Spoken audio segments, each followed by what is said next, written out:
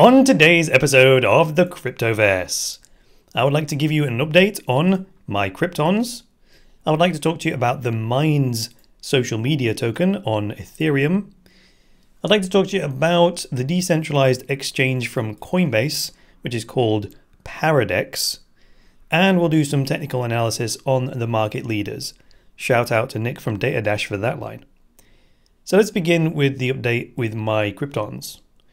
So I've been playing around with this Ethereum-based collectibles game, um, and I found it via an ad banner on CoinMarketCap.com.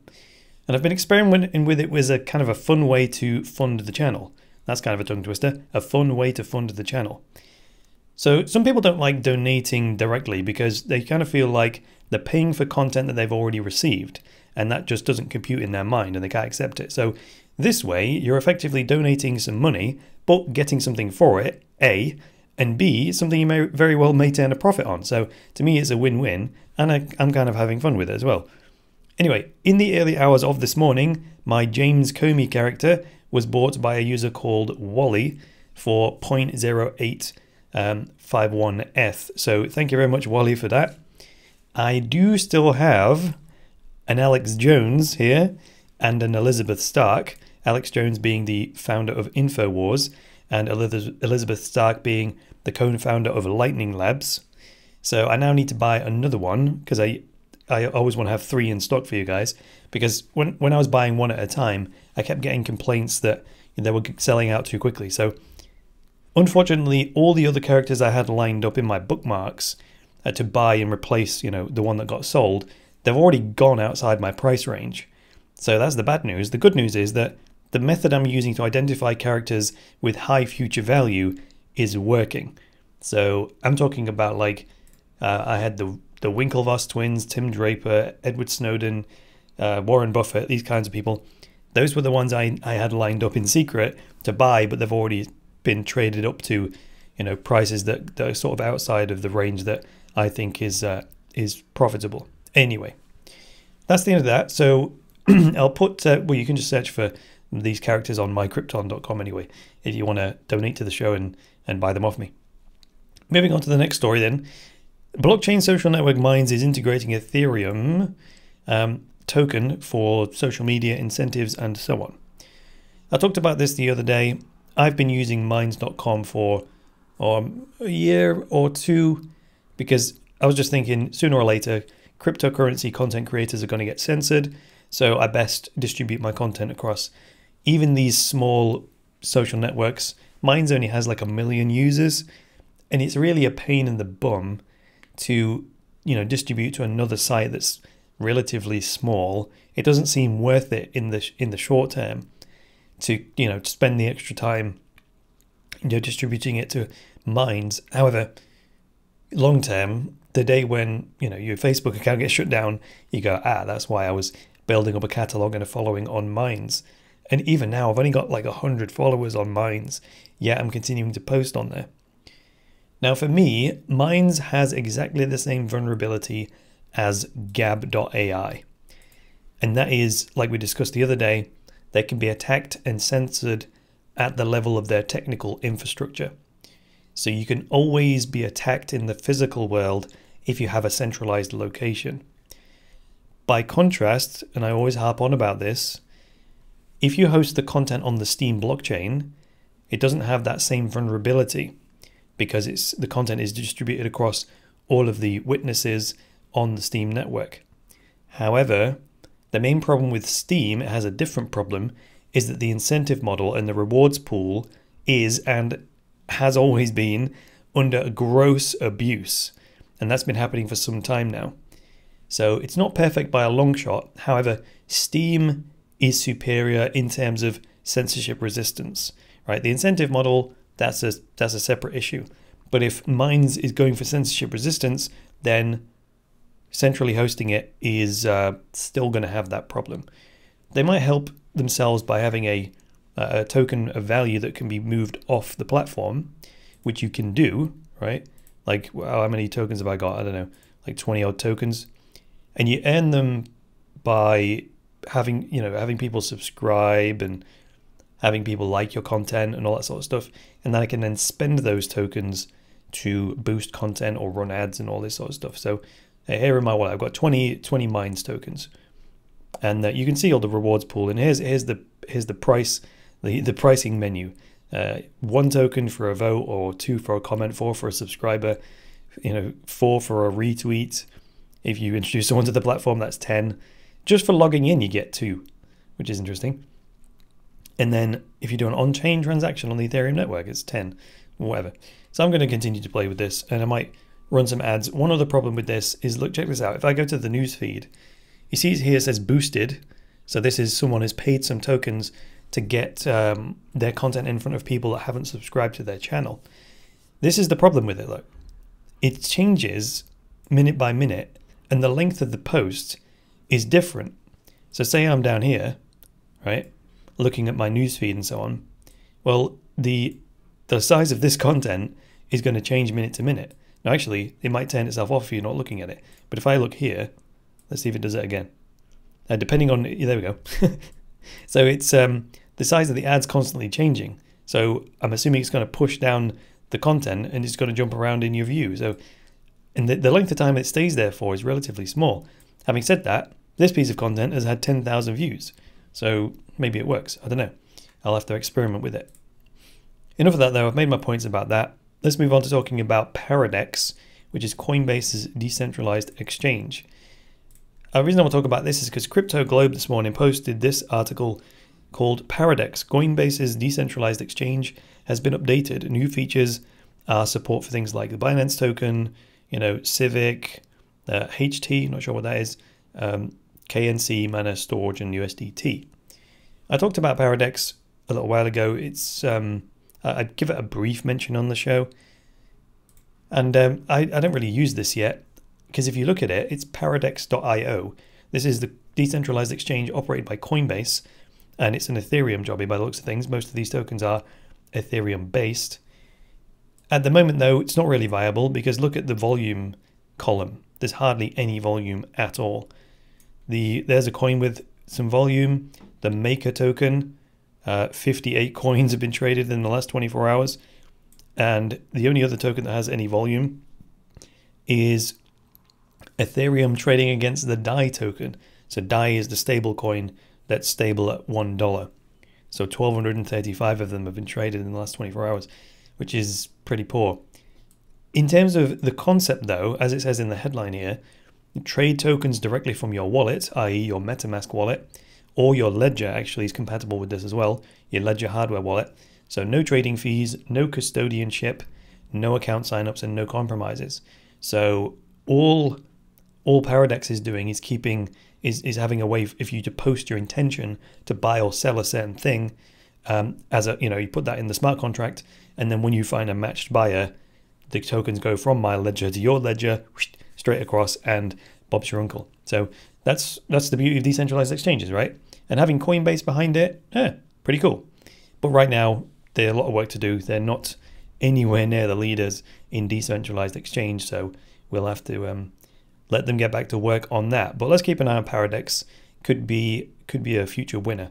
They're, they're expanding the coins the coins they support, but without volume doesn't really matter, does it? Right, that's enough of that story. Um, well, one final note on that actually, because there's no volume, and this this Paradex doesn't even show up on CoinMarketCap. If you go to the search box, which now lets you search for, if I put in BIN, I can see Binance Coin, but also I can see Binance the exchange. Whereas if you put in Para, Paradex the exchange is not on there. So CoinMarketCap doesn't even re recognize Paradex as an exchange. So definitely some work to be done there. Now let's move on to the markets. Let's begin with uh, Ethereum. Here's the old Ethereum. Now Ethereum against BTC on Binance, I I kind of cleaned this chart up and started again. I always leave my moving averages on there, and then optional I turn on volume or not.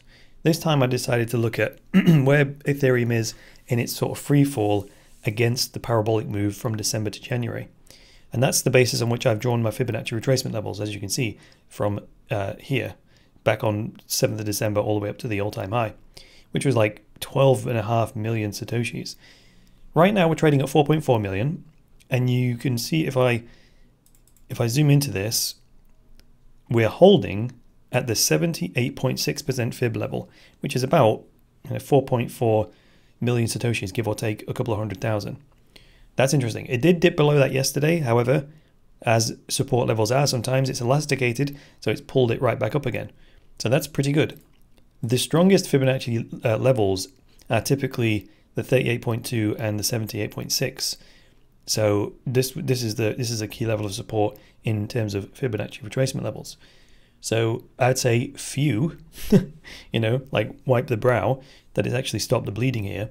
I also tweeted this out yesterday to say Ethereum had pulled back to its 78% Fibonacci level. So this is um, this is looking at good support. I'm not take I'm not suggesting any action. However, looking at this price action, that might be a good position. I'm just talking from my point of view, just for educational entertainment purposes, a good time to take a position, a long position.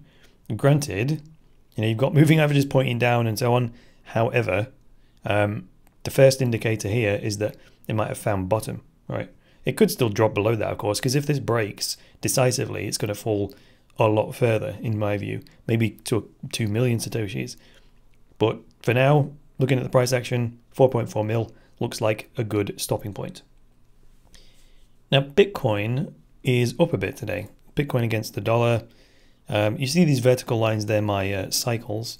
We're almost nearing the potential end of this uh, short-term cycle. Bitcoin up today by about 3%, but consolidating over the last seven days, as you can see, sideways move, sideways move. The low from yesterday was 58.58, so it was almost um, hitting that 5800 level from back in July, or sorry, June, June 29th.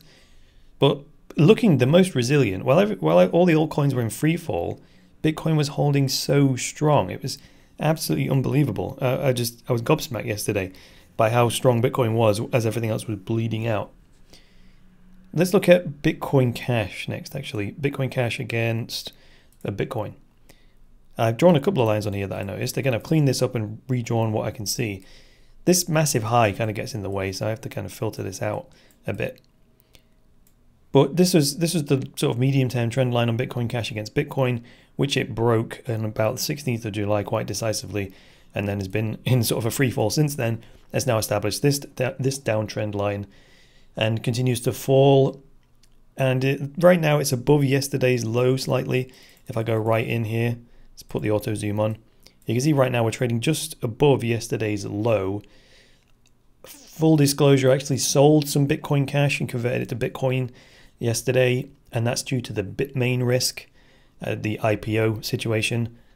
Uh, I haven't got time to cover that today, but I'll I'll uh, I'll cover it in a future video. Next, let's have a look at Stellar, Stellar uh, XLM BTC. If we look at the broader perspective on this, XLM BTC holding up surprisingly well, you know, forming a big old symmetrical triangle. Um, and you see like a, a flat 200-day moving average here, which is indicative of um, you know a consolidated price movement.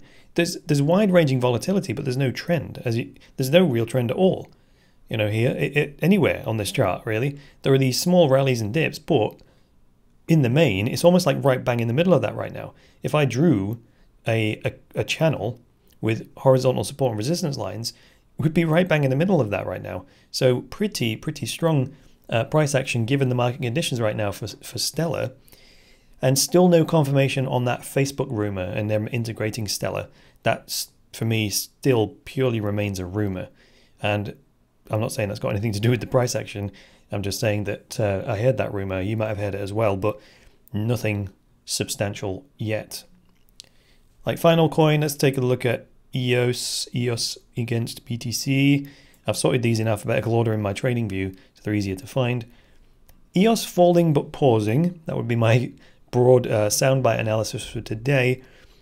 Heading for 50,000 Satoshis uh, if it continues to fall. And that would take us back to prices not seen since the 16th of May.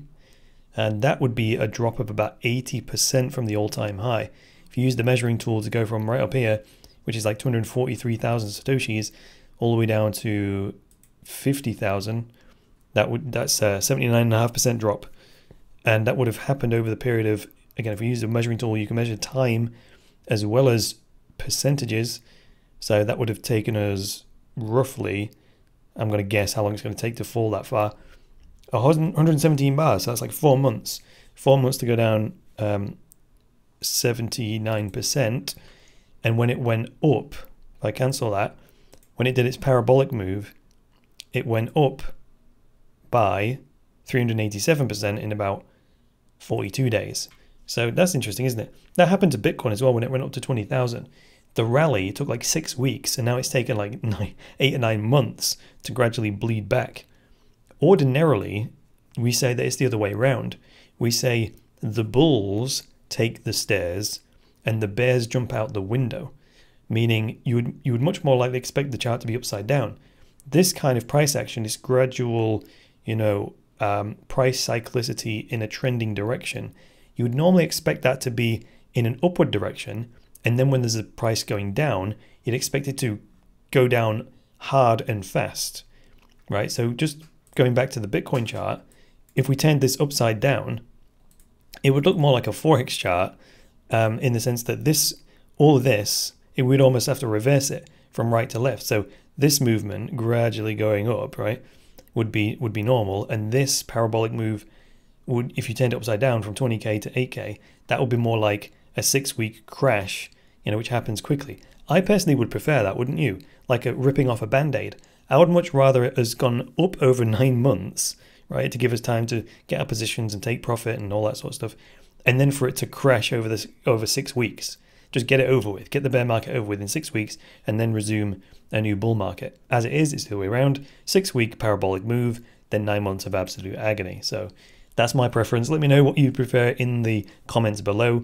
The problem with it happening over six weeks is that it just it blinds us all, and that euphoria kicks in so fast that you just you don't have time to um, to sort of reflect on your trading decisions and decide what to do because it all happens so fast. So there we jolly well go. Um, that is actually all I've got for you today. So if you liked this episode, go ahead and hit that like button. And if you're new around here, get subscribed. If you thought this video was absolutely terrible, you can hit that button if you want. And if you'd like to know how I do all this fancy technical analysis stuff, and uh, then you can go to cryptoasset.school and you can download a case study of one of my trades which made me a 40% profit in three days. And in that document is all the proof that you will need, which shows you the, the inside of my trading account to prove I actually did take the trade and all the rest of it. If you ever want to follow me on Twitter, it's at ChrisConeyINT. And if you want to get notifications whenever I release a new episode, go to cryptoversity.com forward slash notifications. And if you've got a bit more time, then uh, why not check out yesterday's episode, which was called Has the Crypto Bubble Finished Deflating When Bottom? where I give you a methodology on how to analyze any given cryptocurrency and decide for yourself when it has hit the bottom. Other than that, I'll be back with the next episode of the Cryptoverse. So until then, it's me, Chris Coney saying, Bye for now.